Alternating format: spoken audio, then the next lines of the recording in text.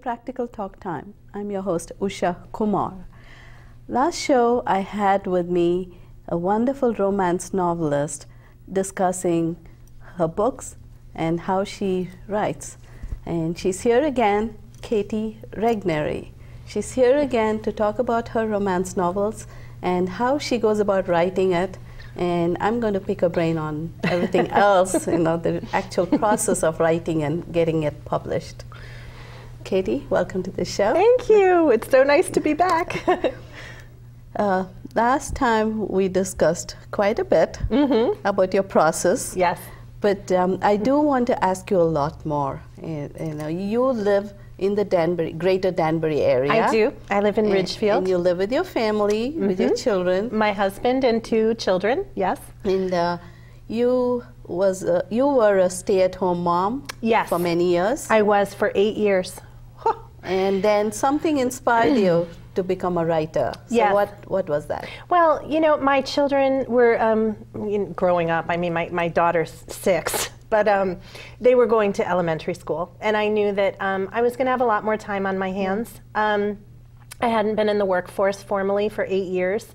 Um, and I was an office manager before, which is really not a very creative field to be in. And I felt like I wanted to do something more creative. I just oh. didn't know what that was. I ran into a friend um, at a nail salon. Uh, her name is Randy Davis, by the way. She's a wonderful painter in um, Ridgefield, and she said, "You got you got to get out. You got you've got to volunteer work. You have to do something. You're going to get depressed. So figure out something. Go take a real estate course." And I thought, I don't want to sell I mean, houses or rent houses. houses. I have no interest in that. So um, she said, "Well, look into Ridgefield Continuing Ed and see what they offer." And um, they had a short story class and people had always been very kind to me about my thank you notes and my emails. Really, that was the extent oh, okay. of my writing. And I thought, you know, just see what it's all about. And I, I really lucked out. There was a wonderful teacher there. Um, and I learned so much from him over the ensuing six months. And so, was that a six-month course, or was it, was several two, three, small courses? Two three-month courses, okay. and um, each week there would be a different lesson. Um, one was about point of view. Um, another was um, just about how to do an all-dialogue scene. Um, another one was doing a poem um, based on an, another writer's style and just sort of parroting that mm -hmm. style. so each week we would come back with our work done. And, and any narratives? Like like just an exposition, like yeah. an essay. Yeah, yeah, there was some. That that's a.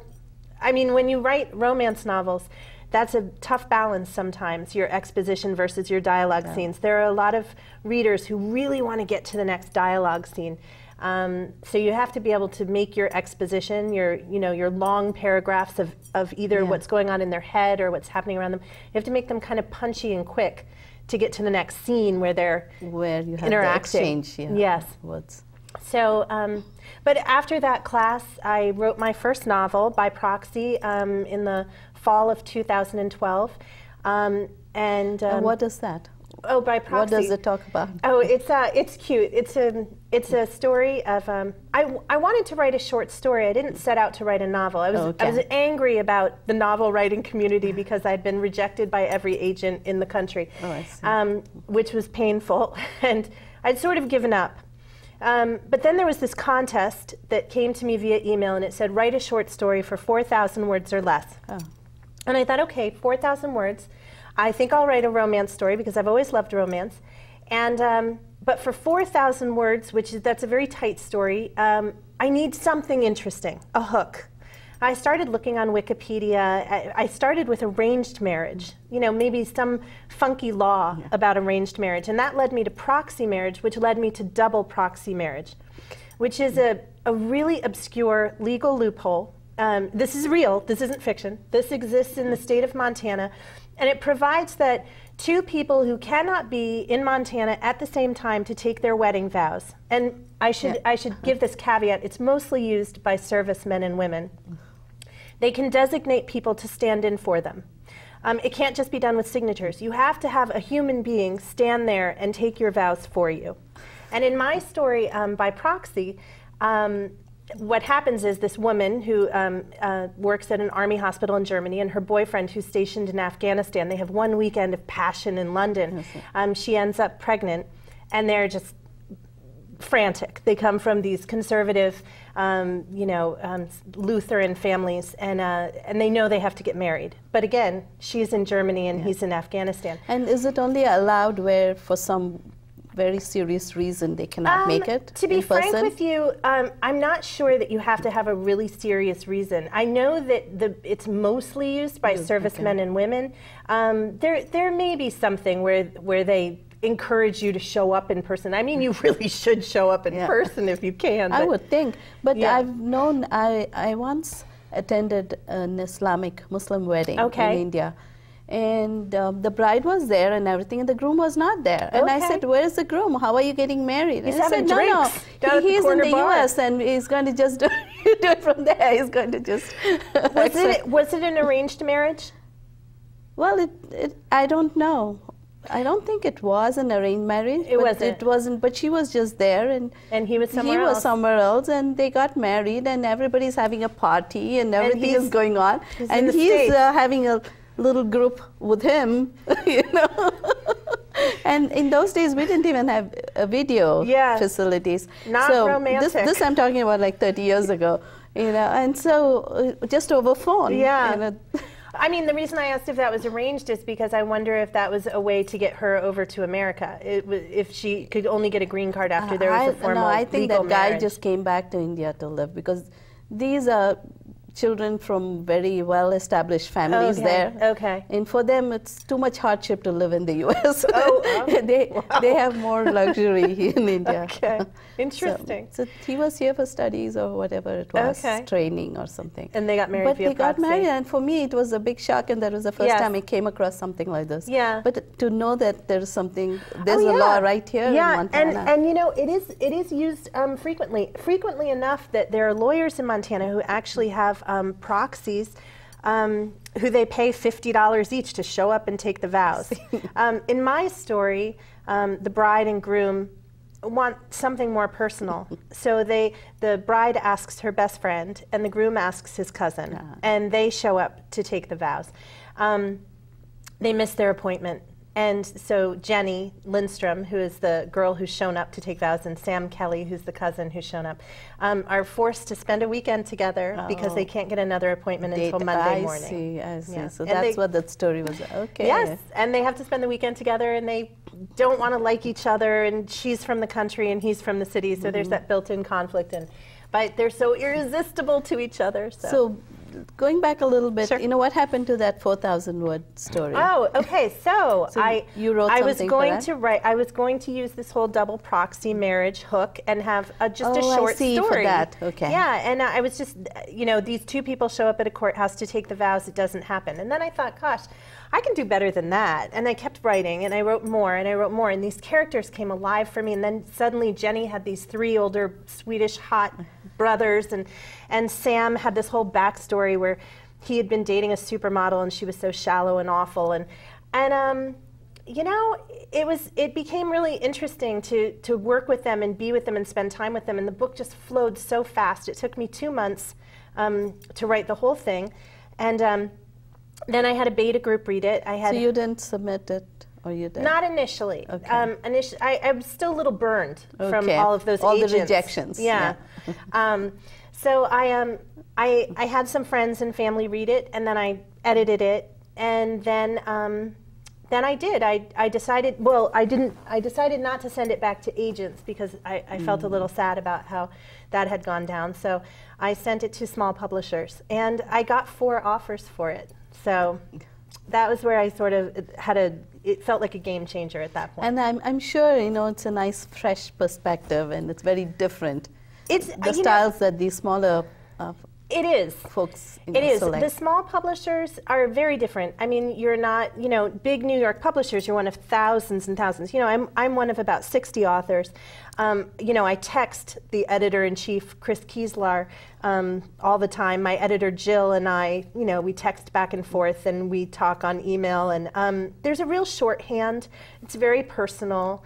Um, you know, as opposed to feeling like you're one of uh, in a cog Yeah. system, you know, you, you really do feel like they, they're investing, you know, some time Because somebody has you. to actually read it to accept Absolutely, it, right? yeah, yeah. And I, I'm grateful for that too because, you know, after so much rejection, you know, for somebody to, to email you and say, we love your book, we want to buy it. I mean, oh my gosh, I was running around the house like crying and screaming and I'm going to write a book. You know, it's so exciting. So. You have only been writing for a couple of years now. yeah, two years. Yeah. And well, already really, you have yeah. how many books published? Uh, I have five. I have five, Five out right now. Um, four um, full-length novels and one novella, and I have two more under contract with Burroughs. Um, these two are also Montana books, and they'll be out in the next um, six months. So by the end of 2014, I should have seven books available. You've been writing so quickly. How much time do you spend writing? And then how do you get the time to have it published? Right. Okay. Um, okay. My children are in school for eight hours a day, and I work on Mondays, Tuesdays, and Fridays. I work from 8 a.m. to 4 p.m. Um, and of that, um, in that eight hours, I would say that um, probably three to four hours is spent actually writing, Oh, and the other three I to see. four is spent um, on social media and marketing myself and um, talking to my readers, um, you know, and, and getting my books out for review. And, you know, a lot of people say, you know, you spend so much time on social media. That's got to be so much work. It's, it's such a drag. I, for me personally, I love it. You I- enjoy the process. I'll tell you what. It's like going to a big party every day. I go to this big party with all of these fantastic personalities, these bloggers and other writers, and we talk and we laugh, and they mm-hmm. make these fantastic double entendres. And I mean, I. I don't know why anybody would think that doing the social media promotion was work because I think it's uh, seriously, I've had the best time. It's like a two year party. It's just been so much fun. And um, so, yeah, I, I admit too that some of it's not work. Some of it's just, I'm just having a good time. So I'll go back and Which forth Which is great. I mean, um, I think the best thing to do is find something that you enjoy Yes, doing, which you have done. yeah. And then you're also enjoying the process of writing. It's Yes. not like, oh my God, I, I already collected some money advance Oh, and now. I have to write this. No, And I have a deadline. You don't have that kind of You know, uh, I don't feel that way at all. And I, I love my Montana book so much, and I love the characters so much that, I mean, I have two books under contract right now, and, and one of them is completely written, and one of them is, uh, I'd say it's 80% finished. And I'm actually starting to feel a little bit, you know, almost nervous, like, should I write one more novella? I mean, there, you know, and as as my audience grows, I just had um my book, the one I was telling you about, the by proxy story, just went to the top of the Amazon bestseller list on um, this past weekend, and so my audience is growing. That was a, thousands of people who bought that book, and as more people read about my Lindstroms in Montana, and and they come to me and they say, "I loved your story. I was wondering if you could do a story about this character, this small character." It does make me consider if I want to write more. Um, I'm, I'm wondering, what is your educational background? Did Oh, you sure. study literature, journalism, or writing? No, I, I went to um, I went to Kenyon College, which is in Ohio. It's a um, great liberal arts college in Ohio.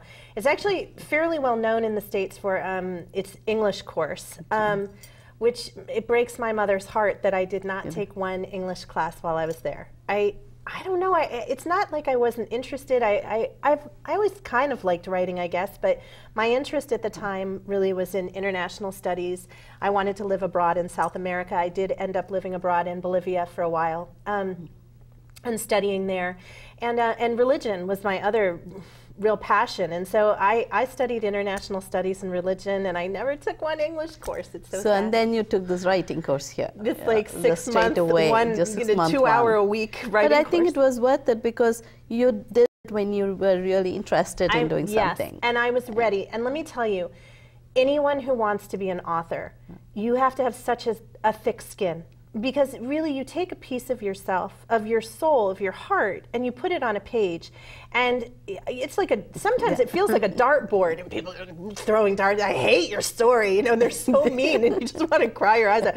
And if you can't take it, um, you know, you just, you won't last. There's no way. You, it's every single day somebody's going to tell you something mean about what you write, you because be I think take it. depending on your own mood, you know, when you write a bunch of 10 pages or 40 pages, Right. as you mentioned, you write, sometimes that entire 40 page, depending on your mood, would be a little quiet and.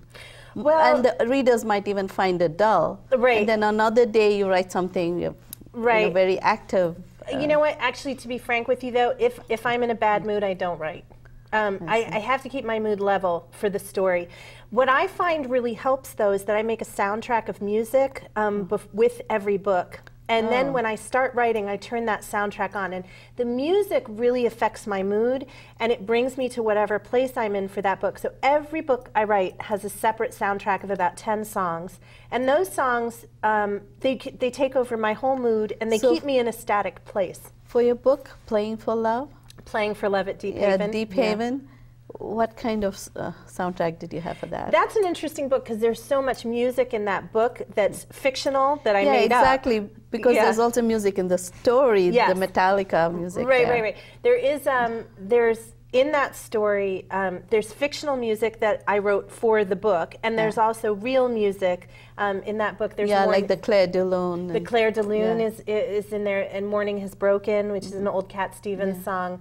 Um, you know, I'm a big, huge fan of music from the 50s, 60s, and 70s, and it figures really prominently. Also in I see. Midsummer Sweetheart, um, Yeah. a lot of that music figured in, and also in See Jane Fall. Almost all of my mu- my books have a lot of music, and So you do write a little bit about what you know. I guess so. I guess I do write about what I know. I, I, but I don't know if I know music or if I just love it. I think I Yeah, just whatever really you, you've it. heard and you're Yeah. familiar with, you're just putting it something in there. that resonates with you and pulls that emotion out of Yeah. you and then i think readers connect with that emotion readers mm-hmm. want the deep stuff i mean they want whatever whatever feels deep and visceral to me as an author that's what they want they know when you're not giving it up too And that's what a writer should put in I writing. think so. What I they think so. feel very deeply. Yeah, yeah. Connect with very deeply. I think that's the only way to really capture somebody else's attention. I'll read a book about anything mm-hmm. as long as as long as the author's really passionate about what they're writing about. I mean, I don't care what they're writing about. If they're passionate,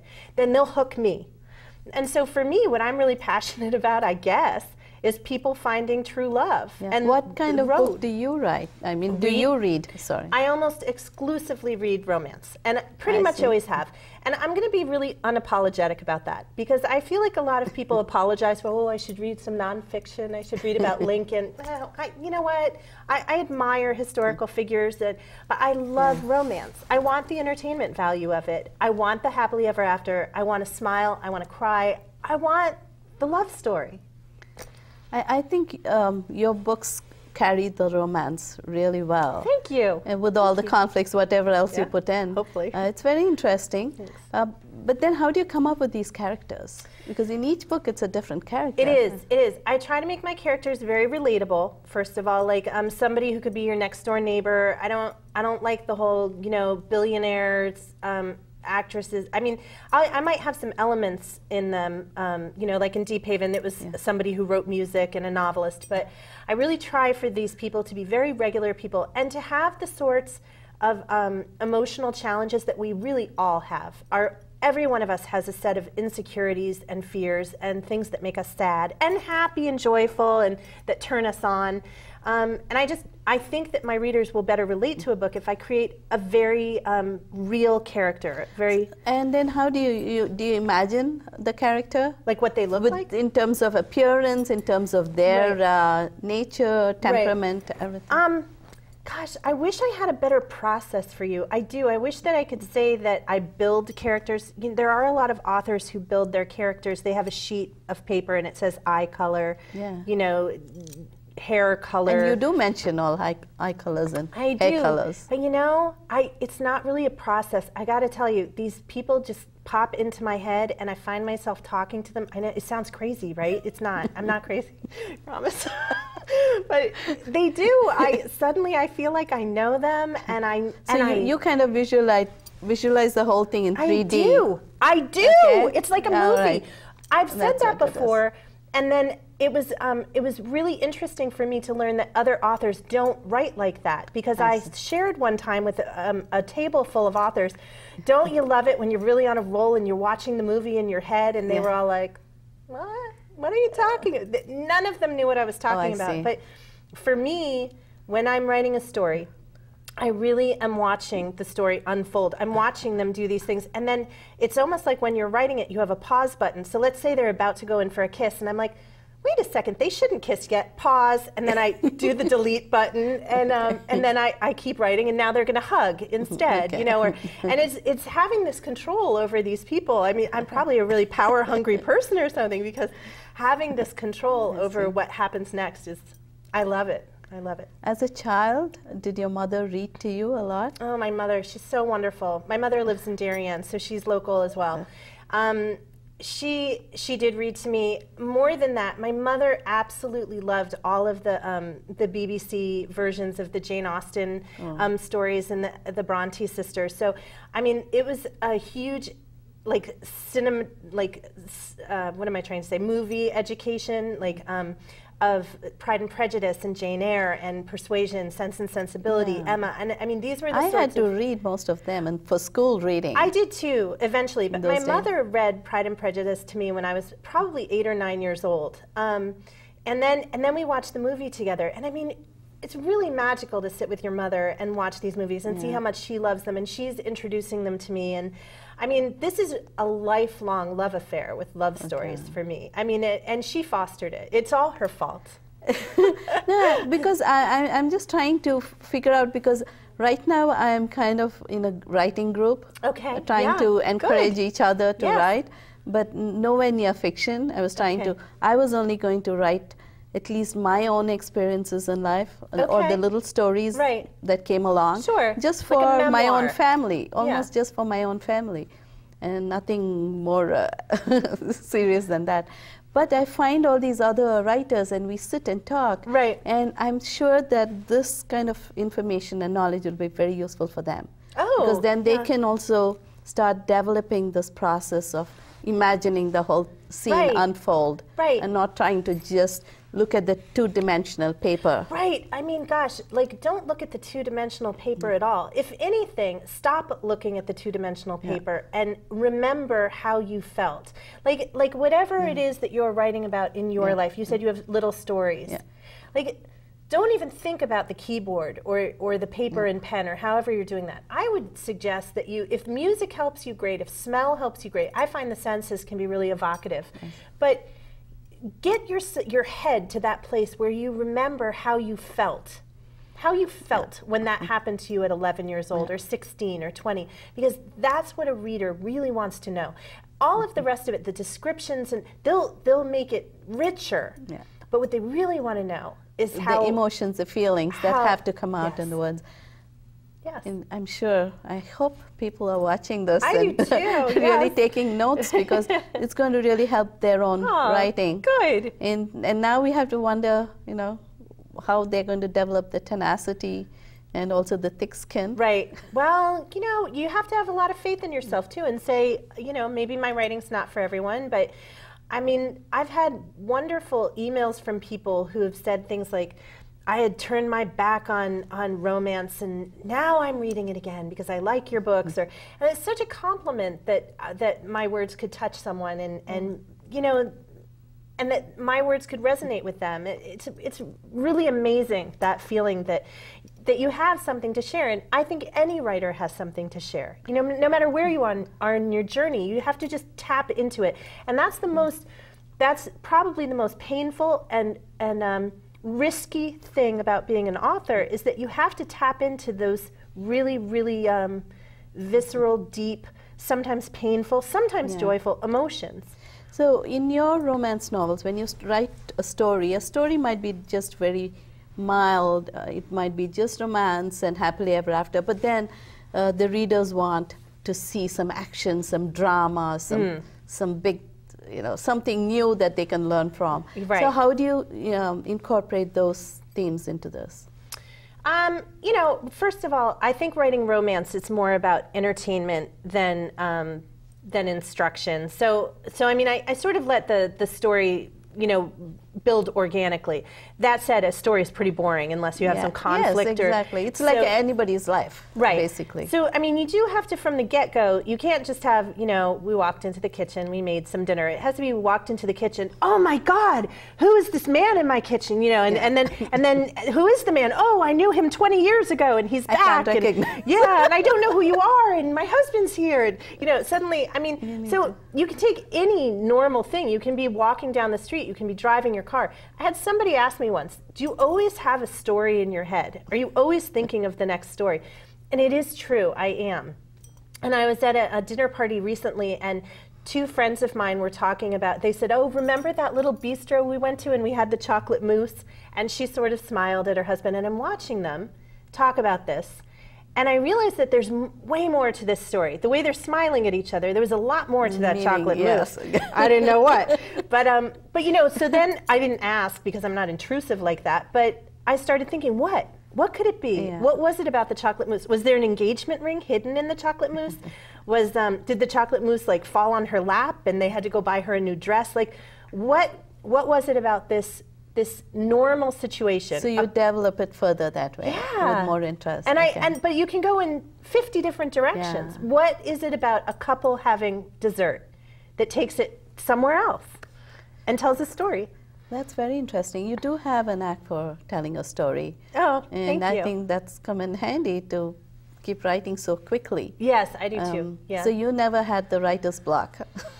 Um, you know, here's my thing with writer's block. Writer's block is so much in your head that it's what you make it. If, if you have writer's block with one story, write a different story. Nice. If you have writer's block with the story you're on, keep writing it. Maybe what you write is total crap, but sometimes by the time you get to the third page of crap, it turns into something interesting. Suddenly it changes. Like you can't just roll over and play dead because the ideas aren't flowing fast. Yeah. You have to keep going. Figure out how to keep going. How does a writer develop his or her own language skills in terms of expressing it? Um, like So in your case, you didn't have to do anything special, but I do find in the writing group there are people, you know, who need to, right to find their voice. You mean how how they write? uh, you know, what kind of, yeah, how do they develop their language to write it more effectively? All right, I guess what I would say for that is that you have to read what you want to write.